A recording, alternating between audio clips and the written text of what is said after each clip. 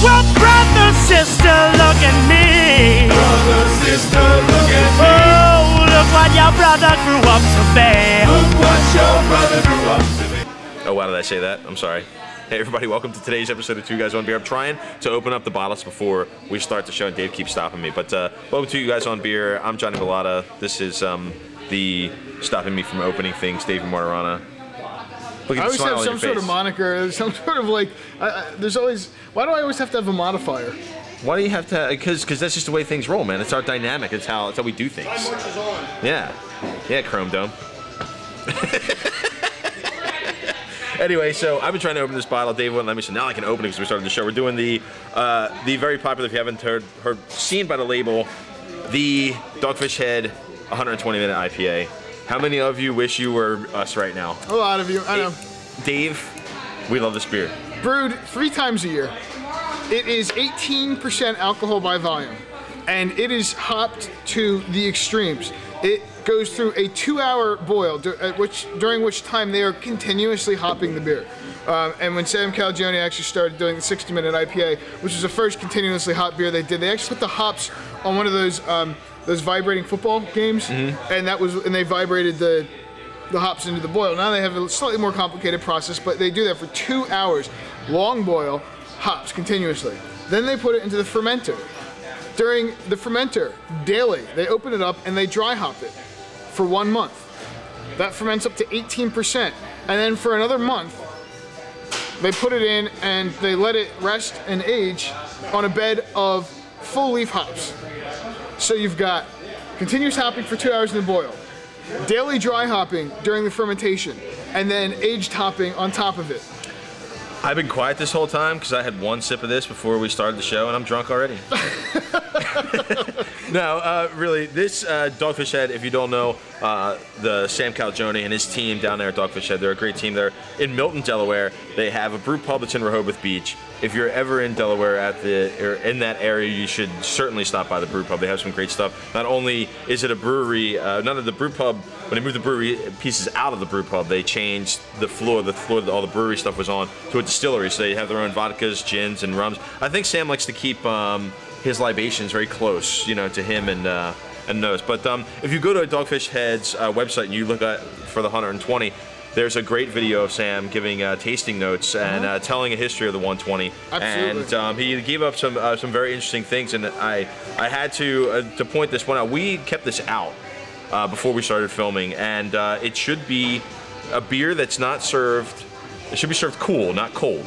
So you want it about room temperature. You want it to be Like um, a red wine beer fridge. you know, yeah, just in like the just enough. 60s, you know, the, the low, or low 60s. or maybe, 50s, you know, like something like that. I mean, you really want it to be uh, in that in that sort of range. And uh, like I said, this well, like I said, the the video states that this ages very well, so you can put it in the cellar for a year, two years, get it back out. It will it'll keep uh, going because of its uh, its high alcohol nature. It'll keep on going. So Absolutely. Uh, one of the things I love, I gotta just mention this. One of the things I absolutely love is that they make a very specific point to mention that you should not drink a whole 12 ounce one of these yourself unless you're planning on doing so over the course of an entire night. And they recommend getting one bottle and splitting it. So now, now, now, now we split. But I'm totally guilty of I'm totally guilty of drinking one myself. A great, great. I mean, overly hoppy smell on this, and a little malty too.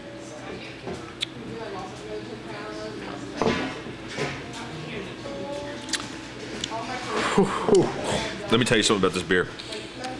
It's super, super duper spicy sweet in the beginning, and then dry, uh, hop flavor just like kicks in. And when I say kicks it, like the back teeth start to rattle Yeah. from the, the hop kick you get on this.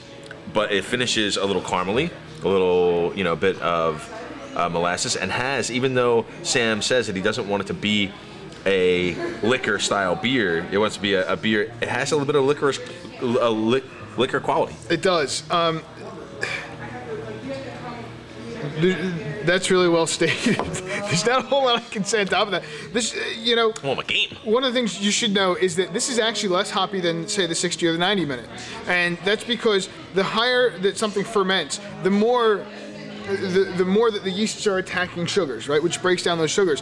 But in order to get that sugar level that high, it means the, the introduction of more and more Yeah. unfermentable sugars, which makes this sweeter. So this has a very sweet, um, almost Belgian-esque kind of introduction, like like a Belgian strong dark, Mm-hmm. and then and then that and then there is that hot finish in the end, and this does not die off. This reminds you all the way down that it's still here, Oh, and, certainly and does. you feel it right there. Certainly does. Uh, I give this. I certainly have to give this high marks only because, for number one, its uniqueness.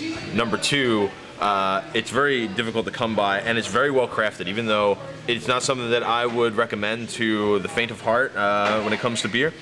It's certainly No, not sir. something that I would drink on a constant basis, but something I would like to have once or twice a year to warm me up. Sure. Uh, I, and this is a great fireside beer. I think. give the 120 minute a 90.